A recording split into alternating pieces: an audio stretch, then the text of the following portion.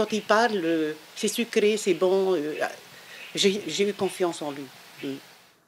La vie n'a pas épargné Léa ces dernières années. Elle a perdu son mari et son fils à six mois d'intervalle et a subi un AVC. La maison où elle habite depuis 30 ans était termitée et des travaux indispensables. Elle s'absente pour laisser place au chantier, mais comprend vite que c'est une catastrophe.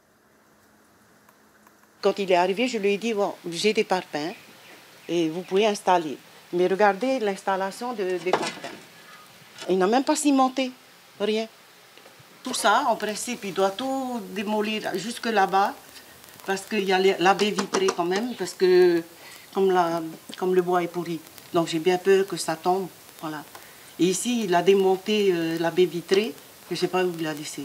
Regardez bien le, le travail. Euh, alors, euh, un jour, ça va prendre feu. Léan emprunte 1,5 million à la banque et paye l'entrepreneur en liquide qui a apposé sa signature au bas de ce document qui atteste le versement. Elle s'installe dans sa famille le temps des travaux et quand elle revient au bout d'un mois, toute la maison est en dessus-dessous. Tout est en vrac. Ils ont tout laissé, même le matériel. Ils ont tout laissé.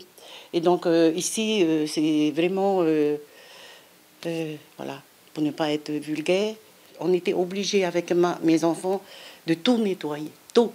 Le linge et tout. Voilà. Ils sont même pas revenus récupérer leur matériel? Non, pas du tout. Le matériel est là.